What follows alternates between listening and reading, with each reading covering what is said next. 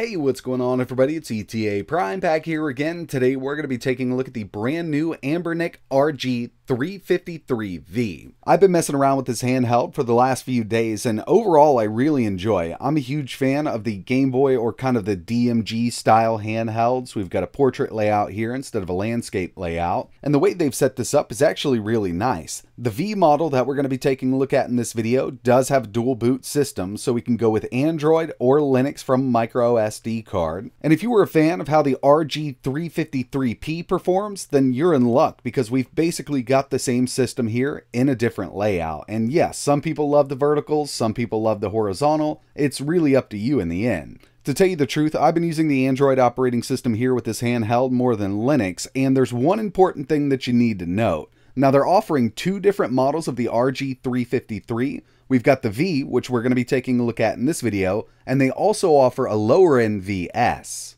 And this part is really important when picking one of these. We've got the RG353V, and the RG353VS. As you can see, the VS is going to be the least expensive model, but there are some major differences here.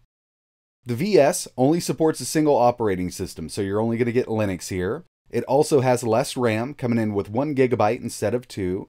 You get a 16 gigabyte micro SD card, no touch screen, and no Android support.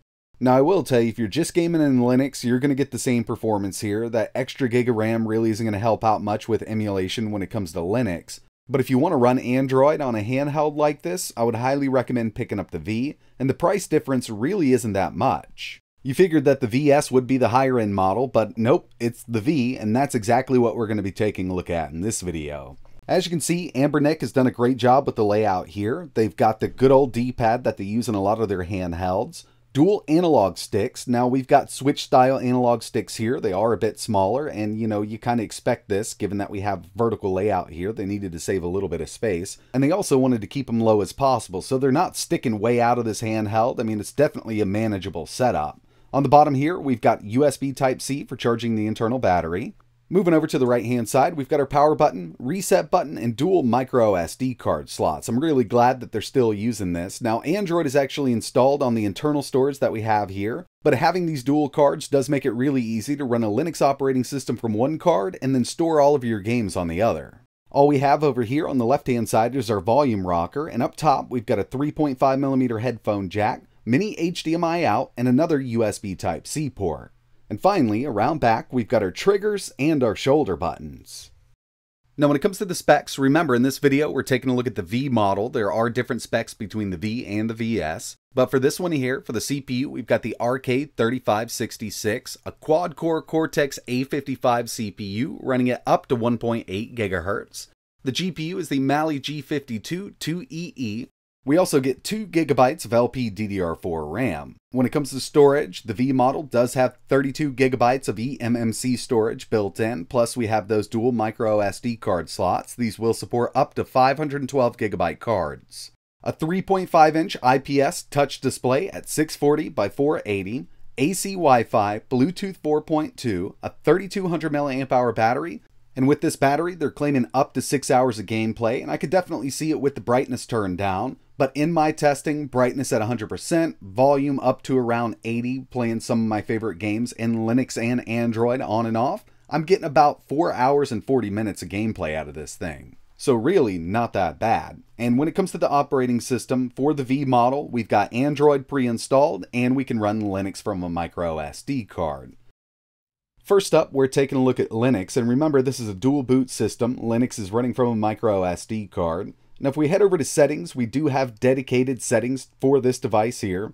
Lots of great stuff built into this operating system. And when it comes down to it, basically we've got Emulation Station with some standalone emulators and RetroArch cores. Now we've seen what kind of performance this CPU can put out. It's not like they've upgraded the clock speed on the GPU or the CPU. It's the RK3566. So when it comes down to it, I'd say up to low-end PSP games are really great on this. Even N64 and Nintendo DS. I know when these new handhelds come out, a lot of people are hoping that we'll get better performance than the last handheld with the same exact CPU, but that's really not the case. I mean, over time, a little optimizations are had, which do help out with certain emulators for sure, but it's not like swapping out the CPU and GPU to a higher end unit. So yeah, this isn't going to run 3DS, it's not going to run PS2, it's not going to run GameCube games, and if there are some that run, it's going to be very few and far in between at a super low resolution with a lot of frame skip on. But there's still thousands and thousands of awesome retro games that this thing will play at full speed.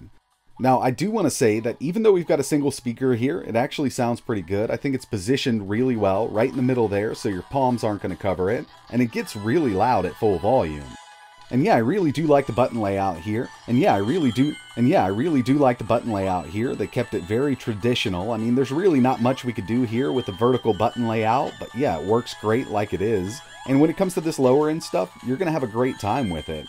GBA on something like this runs flawlessly. I mean, we're getting really great performance. And having that 3.5 inch IPS display with these really bright colors is definitely a big plus.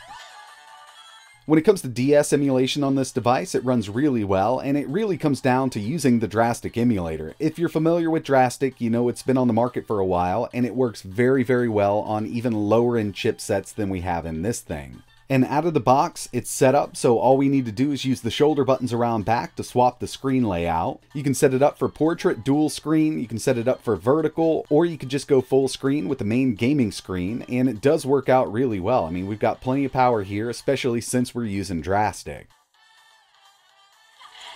But I think the limit here for the hardware is higher end PSP games. Right now I've got Tekken 5 running with the standalone version of PPSSPP in Linux, 1x resolution, OpenGL backend, this game runs really well, but it's an easier to emulate game. Now don't get me wrong, there are a ton of easy to emulate PSP games out there that'll work great on this, but even moving up to what I consider mid-range games, you will have to enable frame skip.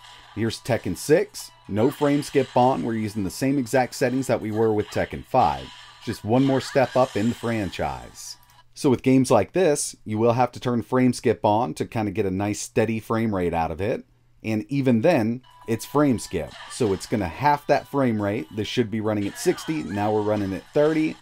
And this may bug some people, but when it comes down to it, this is really what we got to do with the chipset they're using in this device.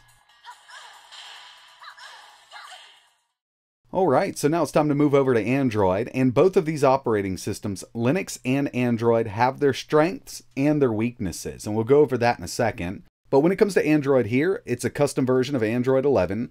Unfortunately, we don't have access to Google Play. You could always sideload your favorite apps, but it does come pre-installed with basically everything you're going to need for retro gaming and game streaming. Remember, we've got AC Wi-Fi here, so streaming from your PC does work out really well, but keep in mind, if you're going to stream a newer AAA game, your aspect ratio is going to be very limited on this device. It'll give you black bars on the top and bottom, given that those are going to be running at 16 by 9 on a 4 by 3 aspect ratio display. But if you've got something like the Dolphin emulator set up on your PC, you could definitely stream it over here and it works out really well. Like I mentioned, both of these operating systems have their strengths and weaknesses. So uh, from my experience so far in Android, I've had much better performance with Dreamcast and N64 emulation. And when it comes to Nintendo DS, we've got access to a touchscreen and it does work with the Drastic emulator. As for the lower end stuff, PC Engine, NES, SNES, even CPS 1, 2, and 3, Neo Geo, Game Boy, Game Boy Advance, those work great in both operating systems, but like when it comes to PSP, we saw performance wasn't great in Linux, and for some reason, what I've tested so far is even worse in Android. Now, usually that's not the case, I usually get a little better performance out of Android with these lower end chips, but on this system here, I'm not getting that kind of performance. And even in Linux, it's not great for the higher end stuff. Down the road, this could definitely change, but if you end up buying one at the time of making this video, then you might end up swapping between the operating systems to play your favorite retro games depending on the system you want to emulate. Recently, Anbernic released their own front-end system for Android, and it's actually pre-installed here. If we swipe down from the top, we can access it. As you can see, we've got our systems listed here. We've got our games imported. We've got some artwork for those games. And we can go through and start up our favorite retro games directly from the front end. Now, a lot of this stuff is going to default to RetroArch, and when it comes to N64, you don't want to use RetroArch, at least at the time of making this video. So if you're getting bad performance by launching an N64 game through the front end, just go ahead and close it down and start the standalone app from the main menu. That's exactly what you need to use with this because you're going to get way better performance. And for N64, it does work out really well on this device in Android when you're using the correct app. I've not had much luck with RetroArch and the Mupen core over there. I mean, I'm sure there's a lot of configuration that we can do with it to get it to run really well, but my app of choice would be Mupen 64 Plus FZ. It does come pre-installed on this device in Android, and basically all you need to do is start up your game, and a lot of this stuff works out really, really well. Even the harder to emulate games like Conker's Bad Fur Day is fully playable on this device.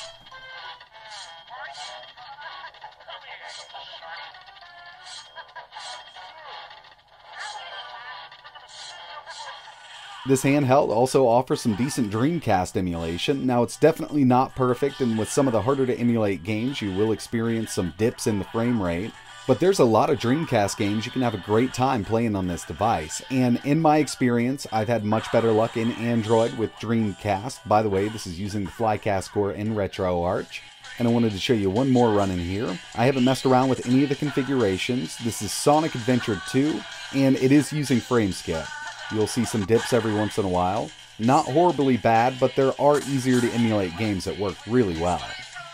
So overall, I have enjoyed using this device. I personally really love the DMG style or the old school Game Boy style, portrait style, vertical, whatever you want to call it. The D-pad is great, just like most of the other Anbernic devices. Does have a really nice screen going for it. It's got great battery life, up to six hours, depending on the brightness and what you're doing. I've been averaging around four and a half hours with it, with the brightness turned to 100% using Android. And mostly, I've been doing N64 and PS1 on this, so if you're doing lighter end emulators with the brightness a little bit lower, you could definitely hit that six hour mark that they advertise. But in the end, it's always up to you. There might be some people that love the design of this, there might be some people that hate the design. Some people are definitely going to be wishing for a little more power out of a handheld like this, but this is the CPU they chose to use in these newer devices, and we're getting the same performance as the RG353P. So, you know, if you're into the landscape style and you like the performance you saw out of this device, I would go with that one. But if you have to have a portrait style handheld, go with the V and not the VS because you do get that extra RAM and Android built in. But that's going to wrap it up for this first look video. If there's anything else you want to see tested on this device, just let me know in the comments below. And if you're interested in learning more, maybe picking one up, I will leave a few links in the description.